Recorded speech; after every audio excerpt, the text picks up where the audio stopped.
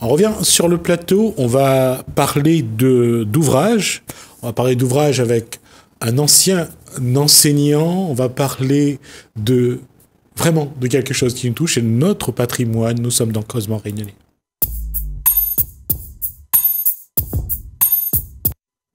Et l'instit que nous recevons, bonsoir Soubaya Permanaïk. Bonsoir, monsieur Quand on dit l'instit, ça, ça a une, encore une, une, valeur ou pas? Parce qu'aujourd'hui on dit professeur des écoles. On s'engage comme instit d'abord. Euh, on a envie de le faire. Mmh. Et puis euh, après, il y a euh, le statut de professeur des écoles, mais ça c'est une question de diplôme, une question de concours. Et à quel, j'allais dire, à quel moment Soubaya Pamalnaïk a, a eu cette envie d'aller connaître un peu plus ses racines? L'envie de connaître ses racines pour moi, c'est parce que je ne les connaissais pas. Et au fur et à mesure que l'on entre dans l'éducation, qu'on essaye de voir les textes, on dit ben, tout ça, on ne sait pas. Et c'est quelque chose qui est drôle. Je vais vous montrer. Alors, j'attends que le gros plan se fasse sur. Alors, qui, combien d'entre nous a un, un, arbuste comme ça dans sa cour? Moi. Et c'est quoi?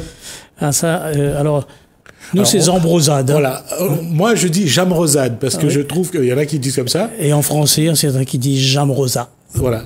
Et c'est un fruit que, qui, pousse beau, qui pousse toujours au bord des rivières, mais qui en a aussi dans les, dans les, dans les cours. Et ça sent bon. Ça sent très bon, ça, sent, ça a une odeur de fleurs, de rose. Ouais, exact. Et le goût n'est pas si sucré que ça, mais ouais. c'est quelque chose. Ça aussi, c'est les racines. Les racines ne sont pas dessous, sont aussi dans, dans, dans, le fruit parce que le fruit ça a un parfum et ça rappelle beaucoup de choses et peut-être on va chercher ça. Il y a des gens qui, à qui l'on présente ça et qui en veulent absolument tout de suite. Oui, parce que je me rappelle, bon, que ce soit ça, le jambos, le jamalac, mmh. c'est un peu la même texture de, à l'intérieur. C'est un petit peu spongieux, la, oui. la chair.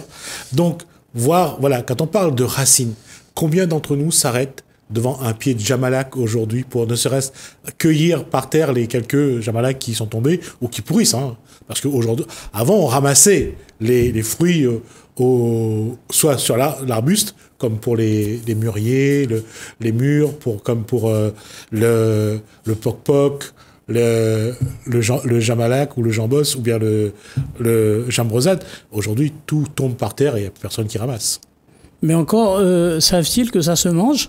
Quoi? Le, le jamalax, les gens qui passent à côté, ils ignorent. Je parlais de connaissances tout à l'heure. C'est qu'il y a des, des, tonnes de choses que l'on ne connaît pas et qu'on qu réapprend en fait. On réapprend parce que ça commence à se retrouver sur les étals des, des marchands, etc. Et ça également commence. dans les grandes surfaces aussi. Dans parfois. les grandes surfaces, il y a des coins euh, spéciaux pour cela. Et justement, dans la transmission, c'est là que on a, deux postures. Un, on ignore ce que c'est. Et deux, comment transmettre ce qu'on ignore. On nous a pas transmis. Ben, ben on peut pas. On peut pas. Sauf que, et là je reviens sur l'école, on avait commencé par ça, quand on lit, et c'est là qu'on qu qu dit que non, on, on bute sur un problème, et pour peu qu'on essaye de chercher un petit peu, on, découvre, on redécouvre. C'est un euphémisme redécouvrir parce que quand on, la découverte c'est une seule fois, on ne va pas redécouvrir quoi. Hein. C'est la première fois qu'on découvre et puis c'est fini. Mais on oublie aussi. C'est un petit peu quand on, on redécouvre le carré poulet sans tomate. Ouais. ouais, ouais, on va pas lancer la polémique. Il euh, y a une chose que Soubaya euh, Pamanaïk fait aujourd'hui, c'est de d'écrire, de faire des ouvrages pour que justement il y ait la mise en place d'une transmission. On va commencer par le, le bouquin qui parle de fruits. Voilà. La, je peux l'avoir, L'engament. Alors ça, j'ai toujours aimé ce, ce, titre-là, L'engament. Alors je vous montre. L'engament, ça veut dire? L'engament, c'est le, le, le, prénom de ma grand-mère, euh, qui est née en Inde, qui est arrivée ici, qui a fait souche, comme on dit, de la bonne manière, et euh, qui a vu son mari repartir en Inde. Et Parce que lui aussi, lui aussi, il venait de l'Inde. Lui aussi, bien sûr, il est venu et il est on va dire, il est retourné. Alors, juste pour dire quand même, vous aimez ça?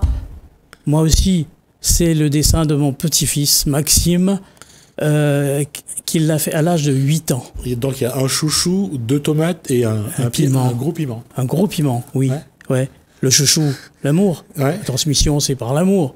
Vous avez les tomates, hein, les yeux en tomates, là. Il faut, faut, ouvrir les yeux et même euh, quand ça brûle un petit peu, c'est parce que on a fait quelque chose. Après, bon, ben le piment, hein, s'il n'y a pas de piment euh, dans notre vie, pas là actuellement, peut-être euh, le petit piment, il manque un peu là. Hein. Pas le piment, le fruit, mais le piment de la vie en ce moment à l'époque où nous vivons. Voilà. Alors, je vais juste rappeler donc l'engagement, l'amour érigé en dogme de vie.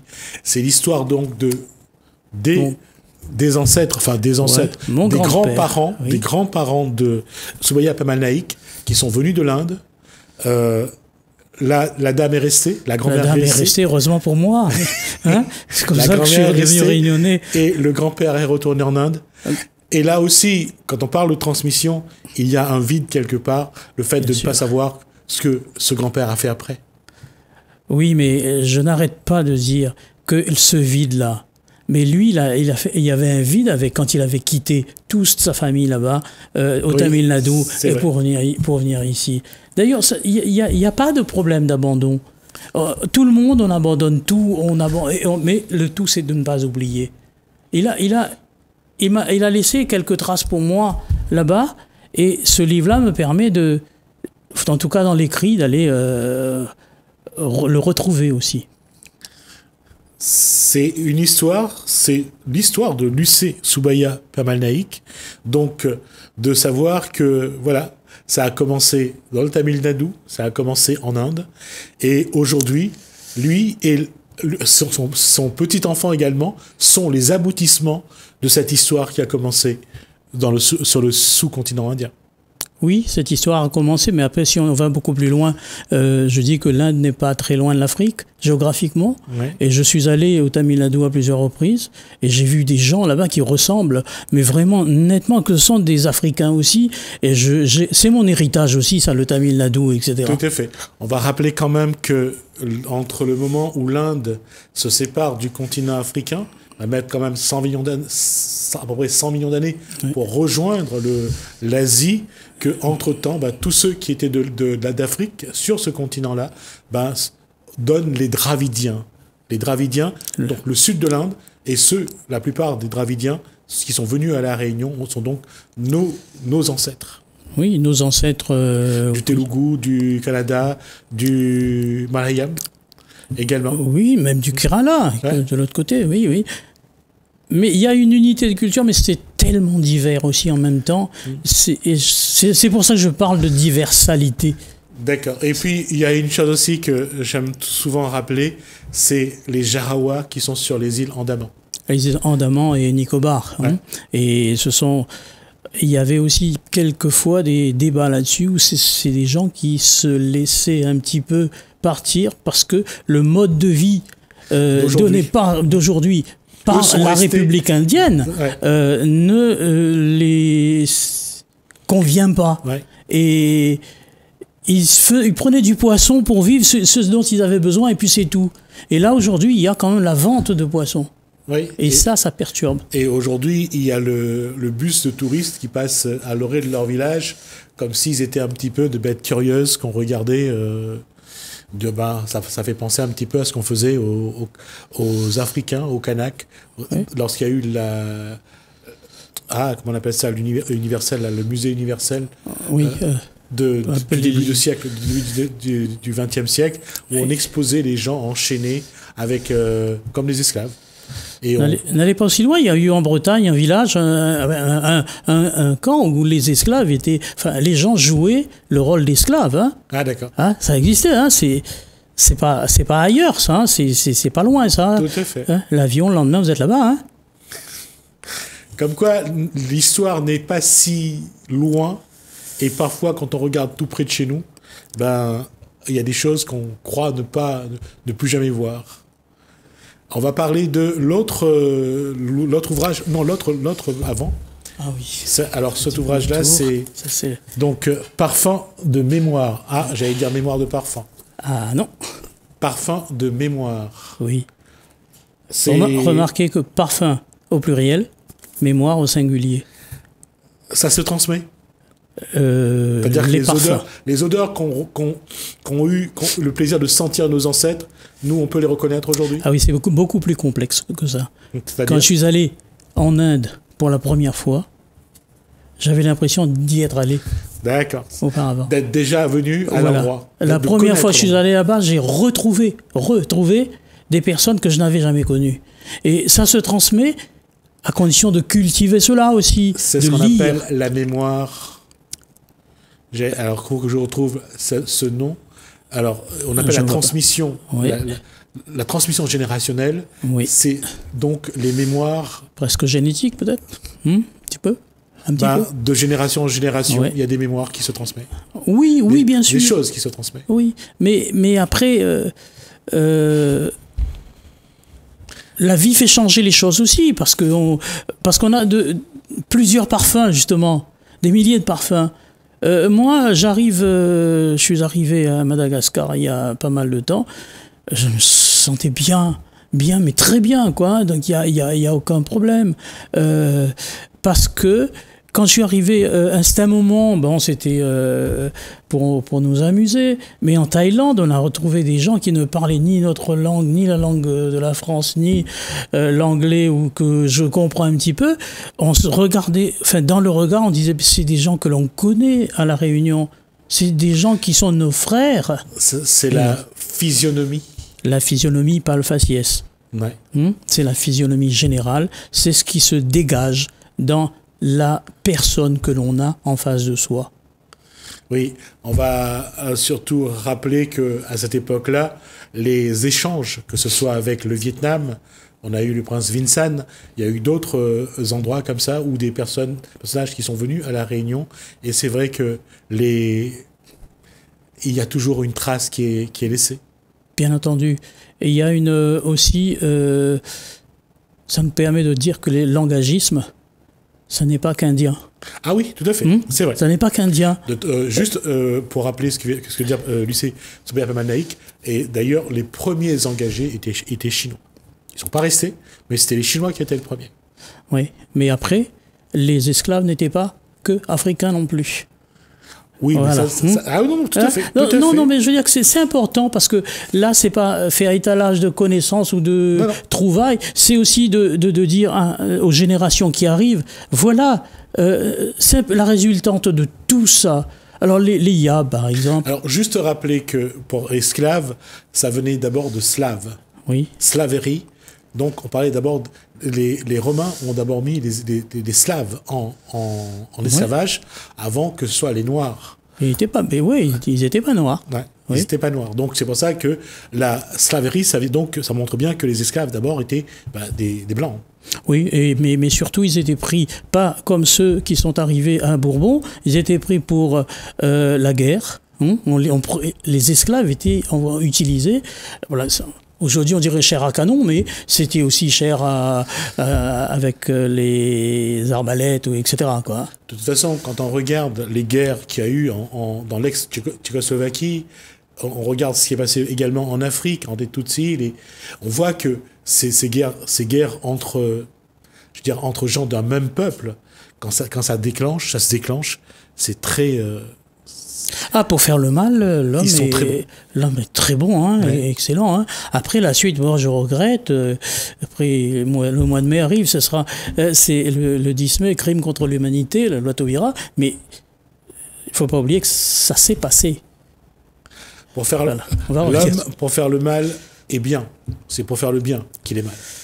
Et, et, on voit la différence à chaque fois quand on, on parle de, de, du passé, combien nous, il nous manque des éléments aussi pour comprendre que on est, on est arrivé là parce qu'on a bien voulu nous imposer cette image-là. Voilà. Mais là, il faut tordre le cou à cette histoire de dire que le langagisme, ça a permis aux Indiens de sortir de la misère. L'esclavage, il y a des gens qui le disent encore et qui le croient, ça a permis aux Africains qui étaient vraiment euh, euh, à terre et attention, euh, il y a tant d'images où ces Africains-là étaient encadrés, il y avait des gens avec les fusils, etc., donc qui les obligeaient à venir. Et puis ils étaient, on dit, je dis toujours, ils étaient des personnes, peut-être pauvres, mais pas de pauvres personnes. Effectivement. Voilà. D'ailleurs, moi, je, quand des fois j'ai réfléchi, j'ai dit, mais comment les engagés indiens ou les engagés chinois ou les, ou les autres, hein, parce qu'il y a eu les Australiens, il y a eu des, des Africains, comment ils ont réussi à reconstituer des, des traditions qu'ils ont héritées de leurs ancêtres ici à La Réunion, alors qu'ils savaient ni lire, ni écrire, qu'il n'y avait pas de livre, donc voilà. Ça, pour ça, ils ont été très forts. Ben, dans ce livre Parfum de mémoire, ça me fait penser tout de suite à ce. Je prends l'exemple du zèbre. Je parle des, des, rayures du zèbre. Enlever les rayures du zèbre, ça serait horrible. Mais le zèbre, il va avoir toujours ces rayures qui restent là, qui persistent, etc. Des gens qui ont des accidents, malheureusement, et qui ont une jambe, euh, qui sont amputés d'une jambe, mais ils vont toujours toucher leurs doigts qui sont de, euh, voilà. C'est ça, c'est ça, la culture, justement. Euh, c'est ce, qu'on, ce que l'on a. Parfois, on ne perçoit pas. Mais au fur et à mesure, il y a des éléments d'ici et là qui nous, nous font découvrir ce que l'on est ce que l'on a été, et puis peut-être que ce, que l'on va devenir avec les autres, justement. Parce qu'il ne suffit pas d'avoir sa culture, et puis se mettre ça dans un carton, et puis pousser l'autre pour, prendre de la place. Non. Une fois qu'on a eu euh, la possibilité de dire ce que l'on est, qu'est-ce qu'on fait? Ben là, on donne, on donne la main. Alors, juste, alors justement, sur ce dernier ouvrage que je vais présenter, euh, Poème Fonker. Alors, un femme qualifié. Qualifié.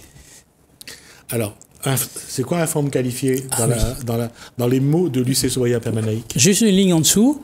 Je parle de la transcription en français, c'est femme, femme experte. Alors, qualifié, en créole, quand il dit quelqu'un que c'est un bouc qualifié, là. Expert dans hein? la matière Expert, mais il va au-delà de ce que l'on peut attendre de quelqu'un. Il va plus que ça. Une femme qualifiée, c'était pas écrit, ça. C'était une femme formidable, superbe et, puissante. Mais le fait est que cette maman-là qui est née en 1904 et qui est partie en 2001, pour moi, et là, je reviens pour la Réunion. On ne sortira pas quand même de cette histoire de Racine là. Pour moi, c'est c'est une femme représentative du siècle, du XXe siècle. Elle a couvert tout le siècle. Elle a élevé 16 enfants. Je suis le dernier. Et ensuite, euh, il y a eu pas mal de difficultés. Permettez, si on a le temps, je fais référence à euh, la déesse euh, Carly. On représente Carly avec une langue qui sort, etc. C'est alors on va juste préciser que là c'est pour pour ceux qui sont qui connaissent, il y a Carly, là c'est Mahakarli. Oui. D'accord. Ma mère, son visage, les photos sont dans le livre, la couverture, ça c'est un dessin d'une une fille de 22 ans qui a, qui a fait ça. Hmm elle était capable d'avoir le visage dur quand, quand ses enfants étaient attaqués, quand elle, quand elle voyait les injustices, quand voyait son, son mari aller travailler 4 heures du matin et arriver 8 heures du soir, et elle, elle faisait tout à la maison. C'est pour ça que je parle de qualifier, parce que si, si, si, elle, si elle démissionne, non, c'est fichu. C'est fichu. C'est fichu. Et ça, il y a tant de femmes réunionnaises qui ont vécu ça qui ont vécu mais qui ont été capables de sortir de cette situation où rien n'était prévu de bien. Il y en a beaucoup à La Réunion, il y en a beaucoup aussi ailleurs. En tout cas, on va, on, dit toujours, on rend hommage à toutes ces femmes qui portent le monde. Parce que c'est ça, elles portent le monde. Oui, oui, mais elles sont supérieures aux hommes même. Ça, hein je n'en discute Non, non, mais je veux dire, sur, non, non, c'est vrai, je suis d'accord. C'est un point de vue. Ouais, ouais. Hein. Je suis d'accord. La femme ah, dans mon regard, la femme sera toujours supérieure à l'homme, quoi qu'il arrive. Parce que j'ai eu, moi, autour de moi, des femmes, mais des femmes de, à poigne. Oui, mais ça va ensemble, hein, avec l'amour. Hein. C'est pas, c'est pas. Non, non, c'est pas, c'est pas, c'est pas, c'est pas opposé. Euh, cette, cette femme-là, je veux dire, quand même, l'être humain La femme seule est capable de donner une partie de son corps comme nourriture pour euh, son enfant, son bébé. C'est la femme qui porte son bébé. Mhm. Et même si on regarde au niveau sociologique, le père, lui, il va travailler, lui. Bon, il retrouve des copains aussi, c'est dur, c'est difficile. Mais celui qui gère, euh, la personne qui gère mhm. toute la journée, avec le peu d'argent qu'il a, ah non, c'est elle. Mais en plus que ça, elle fait le travail de... Euh, de deux, trois bonhommes. Voilà. Ah non, c'est vrai. Ah, ça, c'est mon parti pris. Euh, c'est bien. Et je pense qu'on restera là-dessus, parce que d'abord, on a atteint, on est arrivé à la fin. Mais ceci étant, j'invite euh, Lucie Soya Pamanaïk à revenir et à développer justement la place de la femme, que ce soit en Inde ou en Afrique, parce que c'est sur ce deux continents vraiment qu'on connaît où la femme a, eu cette posture parce qu'elle a porté un peu plus que, que le monde. Je pense qu'elle a porté l'espoir de, de qu'il y ait un lendemain pour les enfants. Juste des remerciements à cette maman-là d'abord, à euh, mon madame, à ma fille, à toutes les femmes en fait, parce que sinon on ne peut pas aller faire un, 29 euh, poèmes euh, sur, sur la femme, euh, enfin en tout cas comme euh, les deux. Et puis mes remerciements, je le dis aussi, c'est aussi, tant pis s'il y a une campagne électorale, mais il y a aussi le conseil régional qui a permis de financer. C'est un parcours de combattant, sinon c'est pas possible. D'accord. C'est déjà en, en librairie? Pas tout à fait. c'est avec moi, mais le 9 mai, je crois, je serai à Sainte-Suzanne pour la première présentation au public, présentation officielle. D'accord. Femme qualifiée, femme experte, donc voilà pour la formation. Merci Lucé Soubaya Permanaïk. On aura l'occasion de vous revoir là-dessus et sans doute de rentrer un petit peu dans les poèmes. On essaiera de, de vous lire quelques poèmes et on prendra le temps de le faire avant votre présentation à Saint-Uzanne. Merci. Mais c'est moi. Merci en tout cas pour cette euh, présentation et d'être venu jusqu'à nous. Merci à vous de nous avoir suivis. Merci Hélène, merci François. Je vous dis à bientôt.